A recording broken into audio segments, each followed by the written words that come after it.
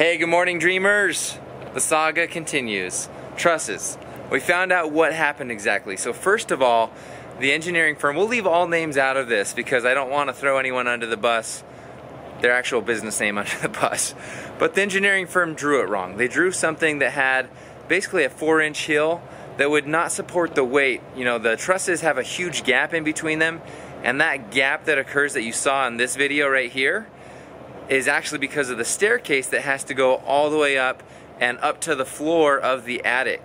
And so they had to have that gap. Well, that gap creates weakness and instability. So to compensate for that, what you're supposed to do is increase what's called the heel size of the truss. A normal truss might have a four inch heel on it. Well, when the company that builds the trusses got the plans, they saw this and saw what a problem was going to be as far as the ceiling flexing and bowing and just having major structural issues over time. And they decided to put a two foot heel on without making a phone call to anyone. A 30 second phone call could have solved this. And we could have said, oh man, the engineer's missing that. that. Not only the engineering firm that we paid to design it, but the, the structural engineers down at the county missed it as well. And so we could have gone back and redrawn things instead of building it paying framers to put it on, renting a crane, doing all that stuff. So spoke with our builder this morning. You know, he said that the the company that built the trusses is really happy to work with us and and said, hey, they're going to build new trusses for us at cost. So about $8,600 for the ones that need to be replaced. And he was feeling like that was a pretty good deal. And I'll be honest, I, I don't think it is at all. Um, you know, I know there are going to be a lot of things, changes that we make or upgrades that we choose along the way, and I'm happy to pay for those things. Those things just make sense to pay for. Uh, when someone makes a mistake like the engineering firm drawing something incorrectly, or the truss company just making an executive decision without calling. See, they didn't know when they, they really th- were trying to do us a favor. It was all good intentions. Um, they just said, well, we'll just lift it up two feet and give it the support it needs. Well, they didn't know. They don't know all the circumstances surrounding building the house, and that we were bumping up against a maximum height for our home already. If they had just made a 30-second phone call, they would have known that this all could have been diverted. So in my mind, maybe I'm crazy, but I feel like what would make things whole and right is getting the new trusses built and on the roof back to where we currently are today, and the only loss we have is time, like two weeks' time. So whether that's the engineering firm and the truss company splitting those costs, uh, because again, yeah, like I said, it's, it's not just what's the cost of the new trusses. Well, what's the cost to tear the current ones off? What's the cost to get the framers back out? It was six or seven guys out there. You know, they had two crews on it to position these things. What's the cost of renting the crane? We got to get the total cost, and we got to find out. Okay, this is the figure that we need these two entities, however they want to divvy it up, to pay for to make it whole and make it right for the mistakes that were made. We went up in the attic and we love the height of it. So changing the pitch from a 912 to an 812, yeah, it'll bring us one inch, one inch under code. We are like skirting it close. It would meet code, but what it does do is it changes our roof from like a, it feel, I think it's like 11, 10, 11 feet down to you know, it's probably even more. Gosh, it's so high. Uh, but it changes it to where basically it's a nine foot ceiling. So it's just kind of about a foot above my reach here. The ideal scenario is Mandy wants to go down to the county, even though our builder did, and they said, no, there's no variance, there's no option for anything. Um, you know, they were not wanting to work at all. Um, she wants to talk to the county. She feels like she's got maybe some feminine persuasion, a little bit softer energy, maybe ask some questions that weren't asked because she thinks like a woman and us men, you know, we may not have the same logic or thought process, which is true. it's a fine line.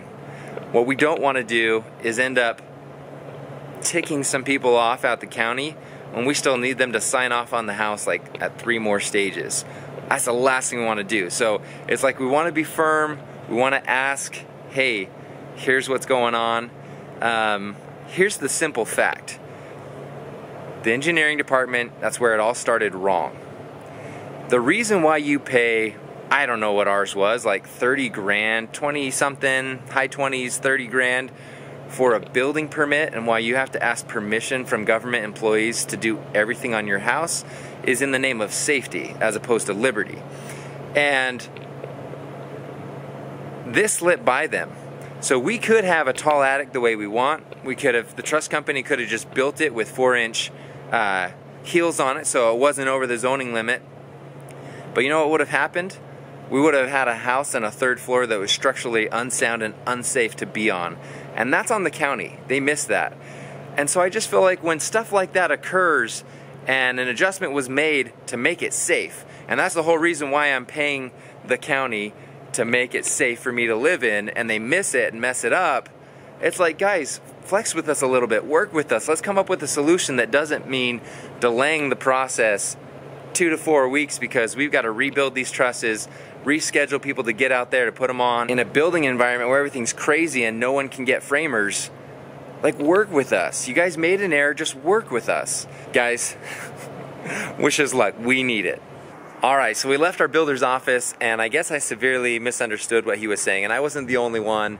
His son, who works with him, said, "Hey, Dad, were you were you trying to say that the cost of the mistake was going to be like add to the price of their home?" He's like, "No, not at all. That's something we're going to have to work out amongst ourselves and and the subs that we've hired to do this." And he's like, Well, to me, it sounded like you were telling Jared that he's going to cover this accident, you know, this mistake that was made by multiple entities. And he said, No, not at all. So he, he clarified that with us. He's going to get it all squared away. I hope it doesn't completely fall on them because of any of the three parties the architect, the engineer, the structure company he has the least to do with it what happened. Um, I know he oversees everything, so the buck kind of stops with him, and I appreciate him taking ownership of it. I really don't want to see them get stuck with that either. I want this to be a profitable uh, endeavor for them. Uh, all in all, it's probably going to take us, all maybe an extra three weeks that it wouldn't have taken. We might end up with a smaller square footage up in the attic with shorter roofs. Um, so what we're gonna do, we're still going to the county. He thinks we're crazy. He's like, you're not gonna make any headway there. Which is probably true. Which is probably true, but it's one of those situations. Here's a little life lesson. When you get to the end of life, you will regret the things you didn't do far more than the things you did do. And so this is just one of those small little things that we can go and we can do, and it's a little awkward and uncomfortable to have a, a difficult conversation with someone and be a little, little firm and pushy maybe. But she's not happy with us. This was too early to kind of solve, try and tackle these kinds of problems. Too early in the morning. Um, but it's one of those things where you know if we go do it and they tell us no, which is like 99.9% the likelihood of what's going to happen, we can say, hey, at least we tried. If we don't try, we'll always wonder. And we don't we don't look back and regret things and we try not to focus on the past, but there's that little piece of you that's like, I wonder if I had tried to talk through it if they would have worked with us. We're going to eliminate that. We're going to go and do something so that we eliminate regret. And uh, so here we go. Okay, so after spending about two and a half hours at the county and talking to lots of different people, there are actually a couple of options here. So there's, it's gonna take too long to do like a normal try and get a variance. Now, the director of planning said that if someone in building, in the building department can say, hey, this is placing a, a burden on them, not a financial burden, but a structural burden because if had we built it the way it was designed and approved, it would have been a problem.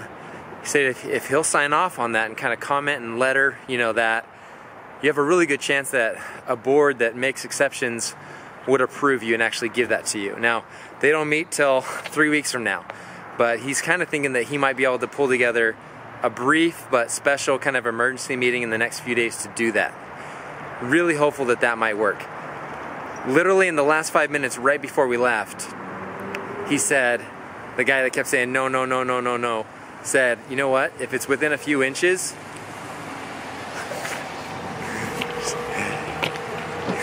this is my builder Mel here. I'll tell you what we're doing. We're going out to the lot to remeasure. He said if we can get within a few inches, he's going to call it 35. So here we go. Hey. Dreamers, what a day. Holy cow. Um, apologize you didn't get to see more of my family today. And then I also didn't get to record more of the process. You know, it wouldn't have been appropriate to uh, take a camera and start recording government employees. I don't think uh, that would have gotten me anywhere as far as uh, earning any concessions uh, for what we're needing to do here. So I did go out to the lot with our builder and uh, you know we I climbed up to the very top of the house and we measured stuff and what it worked out to be is 36 feet. Again, we're dealing with a max height of 35 feet from top of house to the final grade and we were 36 feet just to the top, from the top of the house to the top of the foundation. Your grade can come up about six inches below uh, the foundation.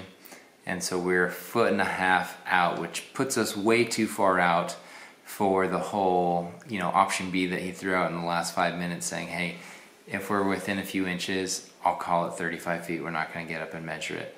Uh, but once you start reaching a foot, it's a no-go. So we're going with option A. Um, I've got a board, try and cover up some of the basic county information here, but um, I've got a Board of Adjustment review packet here. I've done about an hour and a half of studying um, when it comes to variances given for uh, height restrictions and then probably another two and a half hours of writing. You can see here I've got it all kind of prepped uh, and ready to go. Ended up being five pages. 1495 words. I kind of feel like I need to adjust something so that I end right at 1500.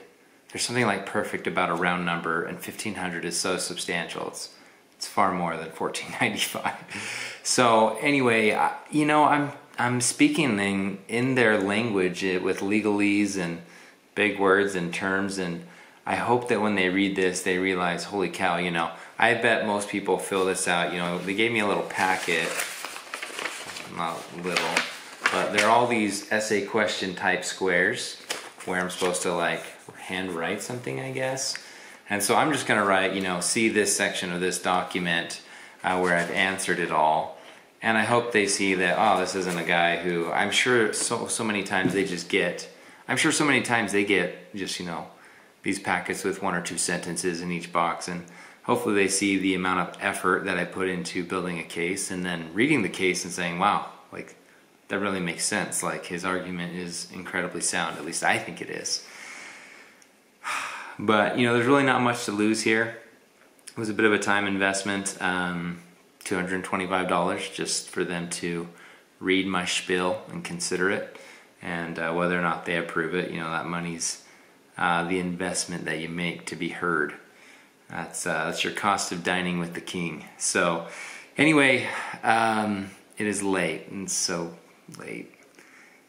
It's the next day late, and I gotta get to bed. And, and then early in the morning, get take this down there and submit it, and see how soon we can get kind of what they suggested was like an emergency adjustment uh, review scheduled um, because otherwise it wouldn't be until this looks like this packet says they do it every second and fourth Thursday. So in a couple of days is the first Thursday of the month. And so uh, anyway got it all done completed and uh, fingers crossed guys that uh, you know after this video we can post some type of construction Christmas miracle video and give you the good news that uh, they approved us and that we were able to continue sheeting our house, windows, exterior doors, and uh, just move along our way here before winter hits us hard. So thanks for coming along with this ride. Uh, hopefully this video helped you if you're thinking about building and you might be bumping into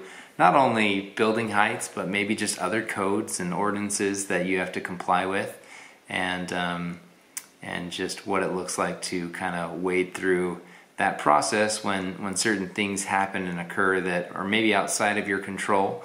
Uh, they weren't self-imposed, but imposed upon you, um, and uh, how, how you might go about dealing with it. So until next time, keep dreaming. Bye.